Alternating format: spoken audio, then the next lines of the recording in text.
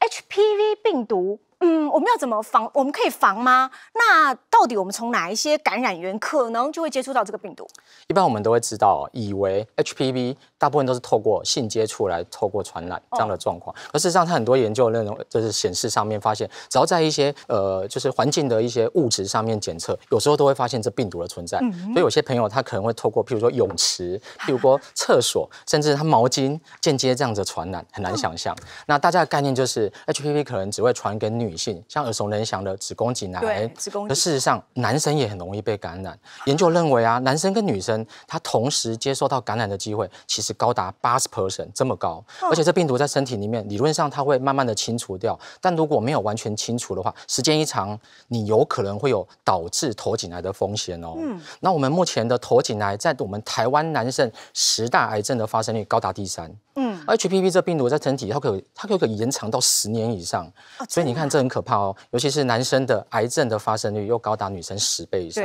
所以说，你猜男生重不重要？就颠覆以前我们的观念啊，HPV 子宫颈癌是女生，对，其实男生非常重要。嗯，那我们要怎么去预防它？是，对我们女儿 HPV 以前的概念，可以透过子宫颈癌抹片的筛检、安全的性行为啊，甚至透过。打预防针来做预防，嗯，那这些预防针我们打完之后，可以预防的范围很多，它可以去预防任何我们透过疫苗所涵盖的相关基因型的一个相关癌症的发生。像我们打完，譬如说两价可以防子宫颈癌，打九价我们可以防像子宫颈癌呀、肛门癌呀、外阴癌呀。哎，什么叫两价九价？疫苗都有好几价，这个到底什么意思啊？呃，两价意思就是像譬如说我们两价是针对呃 HPV 的十六、十八的部分，九价部分十六、十八。啊，十一啊，等等之类的，总共有九价，我们上面有分为九种。那当然，呃，传统的施打都是以两价的概念为主，但是现在推广到九价，我们防癌防范的观念，呃，还有涵盖的范围又更广。我刚刚提到啊，像子宫颈癌的部分啊，肛门癌啊、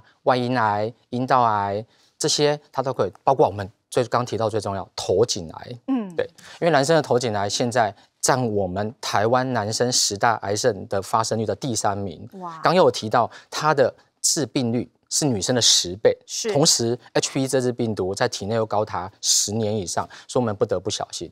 美国临床肿瘤学会 SCO 他们最近也有一个新的研究，嗯，他们认为男生女生只要依照医嘱去接种预防针，对，他会发现只要打完预防之后，它相关的一个疫苗型别的一个癌症率罹患率会大大的降低。OK，尤其是像男生的头颈癌，还有女性子宫颈的高度癌层病变、癌前病变这样的发生率，它可以预防降低至少五十六趴以上，所以效果是非常好的。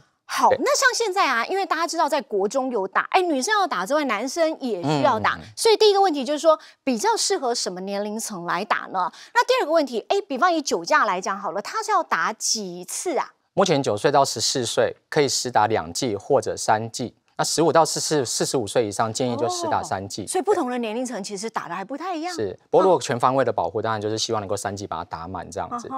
啊，同时目前国健署也在研议哦，不是只有国中女生有打这样的一个公费的疫苗，他连国中男生都在准备要施打这样的一个疫苗的状况。对，我们目前疫苗啊，呃，除了有些县市，像台北、嘉义。澎湖、云林目前也都有提供这种公费疫苗注射的方案。嗯，那有些朋友不晓得该怎么去施打这个疫苗，这些资讯要怎么来？那他们可以透过上网去搜寻，呃，HPV 的卫教友善诊所。啊，以前的概念可能是只有。妇产科，可能只有加医科啊。目前我们有更多像耳鼻喉科啊、泌尿科啊，这些都可以提供施打，可以提供民众选择。啊，一般民众如果要施打的话，很抱歉，可能还是要透过自费啦。对，我们大家都以九价自费的疫苗为主。好，所以你说要搜寻的是 HPV HPV 卫教友善诊所。OK OK，好，所以这个资讯提供给大家。